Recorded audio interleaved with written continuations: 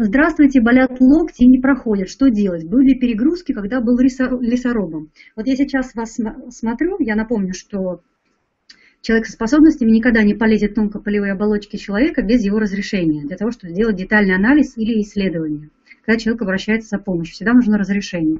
Но есть безопасная зона, в которой нужно рассматривать человека, не переходя его интимную зону, так скажем. Вот я сейчас смотрю, у вас в локте вставлены распорки, вы были лесорубом, то есть вы рубили деревья, вы лишали живых существ дома, в котором они обитали, вы лишали живых существ жизни. Да, вы не знали об этом. Это немного уменьшает, так скажем, вашу ответственность, но не уменьшает ее совсем. В руки у вас вставлены распорки, чтобы больше этого не делали. То есть вы делали, вы, я сразу хочу попросить у вас прощения, я говорю очень болезненные и иногда травматические, травмирующие сознание вещи.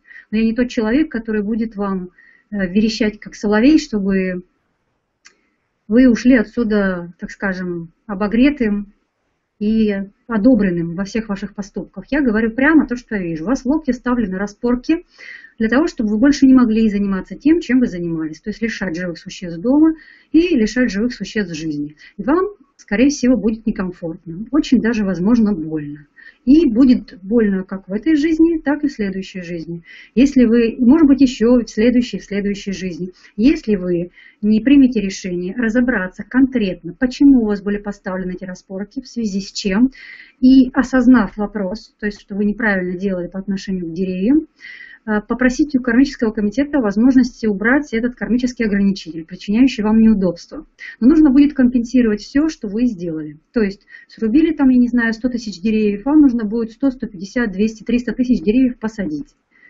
Можно это компенсировать по-другому, открыть приют для животных или начать защищать слабых, обездоленных людей – или зверей, или каким-то образом очищать нашу планету. То есть как только вы компенсируете все, что вы делаете, с вас будут сняты эти кармические ограничители. То есть сейчас пока они вот у вас стоят, чтобы вы больше не делали то, что вы делали, и чтобы вам было так же комфортно, как было дискомфортно тем существам, которых вы лишали дома. Грустная история, но вот чтобы вы знали, это не лечится ничем, никакими таблетками, никакими загорами. Это в локтевой сустав монтируется специальное устройство, которое не позволяет вам делать то, что вы делали. То есть каждый раз, когда вы будете это делать, возможно, вы во время работы и не будете чувствовать напряжение, но каждый раз, когда вы уйдете на другую работу или сядете дома спокойненько, вы будете чувствовать неприятные ощущения в локтях.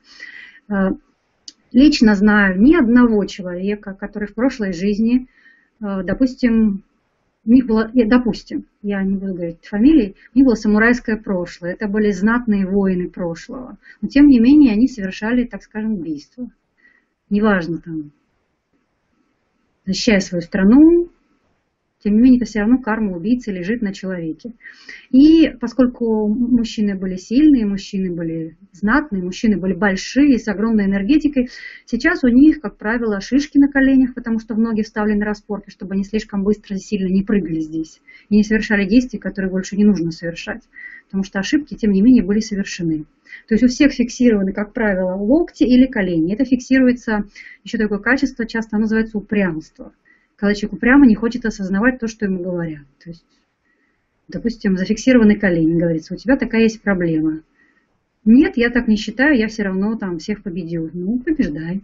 Я лично знаю человека, который, переосмыслив проблему упрямства, вот буквально за одну, там, две-три ночи сел в позу лотоса, а до этого думал, что у него повреждены колени, и это в принципе было невозможно. Вот он поговорил с кармическим комитетом, вот ему дали такую информацию, дали не раз, потому что потребовалось где-то полгода, чтобы осознать то, что ему сказали. Тем не менее, я все-таки победил, так скажем. Спокойно сидит сейчас в позе лотоса, и кармический ограничитель у него сняты на 90, 85-90%, я бы так сказала. Так что желаю вам удачи. Если захотите разобраться с этим, приходите на проект «Реконструкция». Я, хочу, я хочу добавить, что приют для животных не поможет решить вопросы с вырубкой деревьев. Вы рубали деревья, сажайте деревья, вы этим карму компенсируете. Убивали животных, вы животных спасаете. Убивали людей, спасаете людей. То есть карма, она имеет какие-то узкие направления. То есть эм, есть понятие положительная карма, но она все равно все-таки узко, в этом плане есть какая-то узконаправленность. Там, где вы что-то там наворотили, то, что не надо, можно всегда компенсировать. То есть нет ничего такого жесткого. Но немножко, может быть, совсем правильно ответила, что кармой можно справляться, но именно в том направлении, в котором вы работали. Если вы деревья рубили, то их надо именно сажать. Может быть, вам, если вы рубили сосны, может быть, вы не сосны будете сажать, а что-то другое. Но вообще, конечно, потому что кармическая информация, она записывается именно на, на тот диапазон, в котором вы принесли как бы разрушение, что-то сломали. То есть, может быть, вы будете не сосны, там пихты сажать, например, то есть договорившись э, с системой. Вот. Получится сосны, сажайте сосны.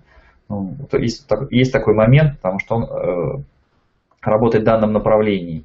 Когда будет э, отработана часть программы, вам эти локты можно будет уже починить достаточно, вы осознаете а, проблему эту. Вам может быть этот вопрос уже решить буквально какими-то простыми вещами, там, чуть ли не мазью помазать суставы, и вдруг они начинают проходить.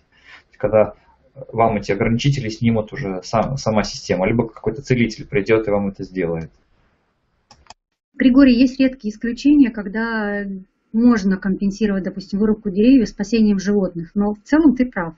Есть редкие исключения, я такие встречала, что что-то делал злое, но нет возможности сейчас это делать. Допустим, Земля вся превратилась в водную планету, нет возможности сажать деревья.